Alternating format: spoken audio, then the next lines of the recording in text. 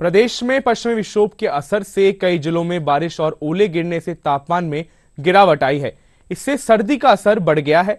ज़्यादातर जिलों में न्यूनतम तापमान 15 डिग्री के नीचे पहुँच गया है। पिछले 24 घंटों में बांसवाड़ा, जालौर, बाड़मेर, जैसलमेर, जोधपुर, पाली, बीकानेर, श्रीगंगानगर और हनुमानगढ़ में हल्की बारिश हुई है।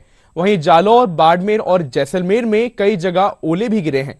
इधर राजधानी जयपुर में भी आज सुबह से बादल छाए हुए हैं और कई स्थानों पर हल्की बारिश हुई है।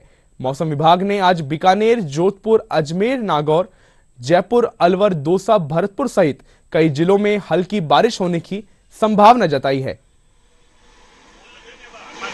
इस पश्चिम विक्षोभ के प्रभाव से राज्य के दक्षिणी ज़िले जो हैं, जो कि जोधपुर संभाग एवं उदयपुर संभाग के ज़िले हैं, वहाँ पर कहीं कहीं मेघ गर्जना के साथ हल्की बारिश रिकॉर्ड की गई है।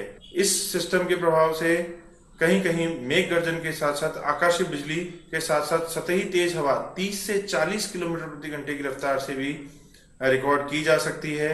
वहीं बात करें इस सिस्टम का, दिनांक 27 तारीख को प्रभाव जो है मुख्यतः राजस्थान के पूर्वी जिलों में ही देखने को मिलेगा एवं 28 तारीख से इस सिस्टम का प्रभाव राज्य में समाप्त हो जाएगा।